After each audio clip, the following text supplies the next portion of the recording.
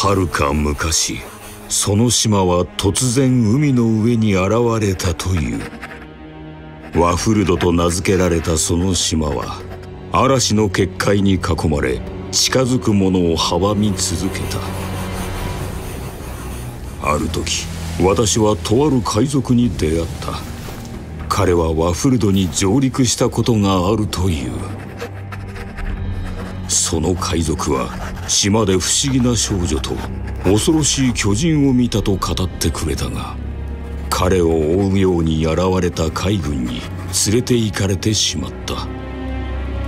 その後我々学者の中にも島を目指した者が何人もいたが結局誰一人戻ってくる者はいなかった。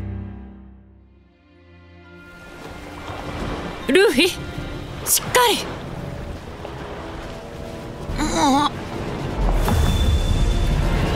なんだ？この島どうなってんだよ。でっけえ氷が空から降ってきた。私の記憶に間違いがなければ光の道が天へと続く伝説の島ワフルド私の名前はリム。体からなんか出てきたぞ。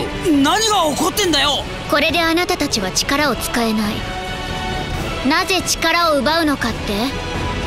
だってあなたたち海賊でしょ？海賊なんて弱い者に暴力を振るう嫌なやつばっかり。でも彼らは今までの海賊とは何か違うかもしれない。なんだ？下がれ！そいつはお前ら全員を殺すまで攻撃をやめねえ。キューブさえ見つければ力は戻るんだ。ああどんどん見つけて力を取り戻すぞ。仕方がないわね。少し力を貸してあげる。これからある場所へ向かってもらうわ。